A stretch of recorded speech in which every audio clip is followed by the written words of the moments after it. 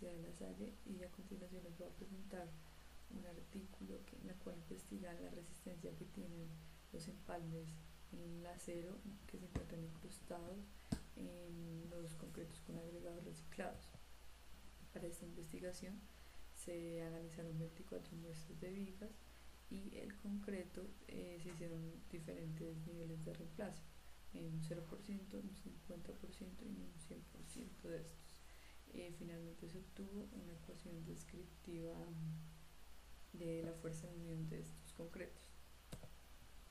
Eh, a manera de introducción, que son los agregados, son un material inerte de forma granular que pueden ser naturales o artificiales. Los naturales provienen de la explotación de fuentes fluviales, de canteras, y eh, tenemos como ejemplos la arena, las gravas, las rocas las piedras naturales. En cuanto a los artificiales, estos son debido a, materiales y procesos industriales como la expansión de la arcilla, el clinker y las limaduras de hierro. En la presente investigación es importante otro tipo de agregados, son los agregados reciclables, que son el fruto de la trituración del cemento proveniente de demoliciones o del cemento sobrante de otros procesos, muchas veces este, estos residuos se van a solidificar y van a terminar como escombro. El hormigón con agregados naturales tiene cierto impacto ambiental en los cuales eh, se ha propuesto como solución el uso de eh, materiales de agregados reciclables, los cuales provienen de la demolición de construcciones, o pueden ser también materiales como los plásticos, el vidrio o la madera.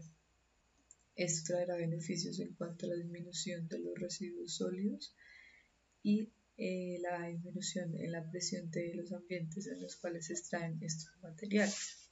Hasta la fecha, estos concretos con agregados reciclables se han usado en aplicaciones no estructurales debido a que eh, se sabe que la calidad que tengan esos agregados va a influir directamente en las propiedades mecánicas que tiene el concreto. Por estas razones de gran importancia la realización de ensayos para poder observar el comportamiento que este concreto con agregados reciclables tiene. Eh, específicamente en dicha investigación es poder eh, cuantificar la resistencia de unión que tiene este concreto con, con el acero.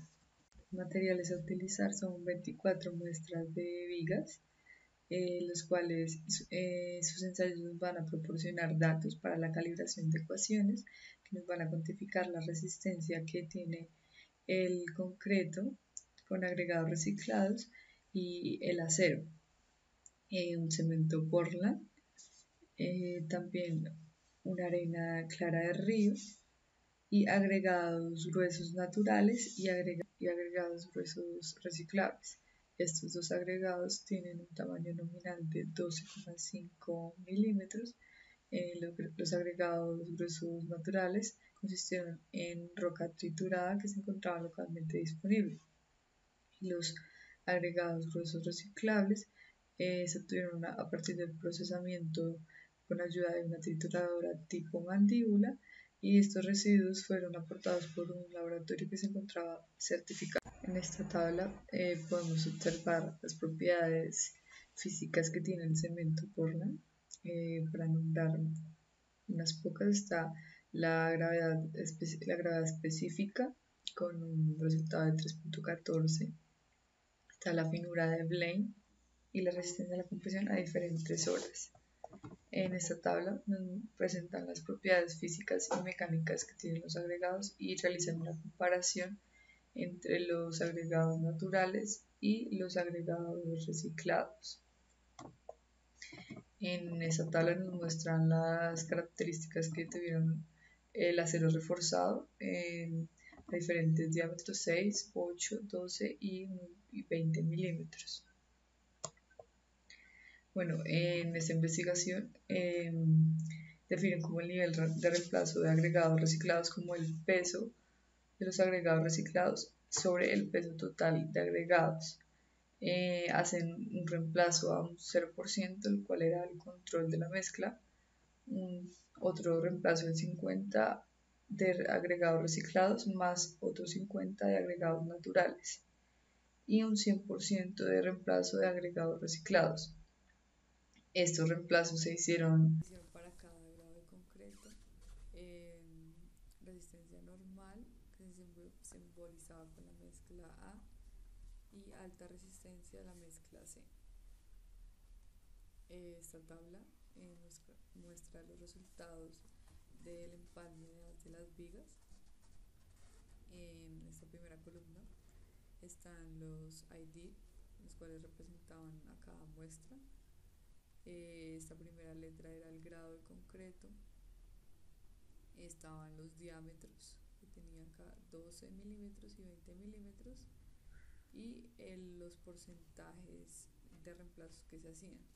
Estaban las, las cargas máximas, la flexión, las deformaciones que tenía el acero,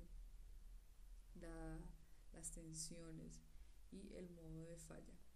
Eh, bueno, en, en, cuanto a la configuración del experimento, los alces de empalme se probaron en flexión con una configuración de prueba de 4 puntos bajo eh, por desplazamiento de 0.3 milímetros por minuto, aplicando una máquina universal de 2500 kN.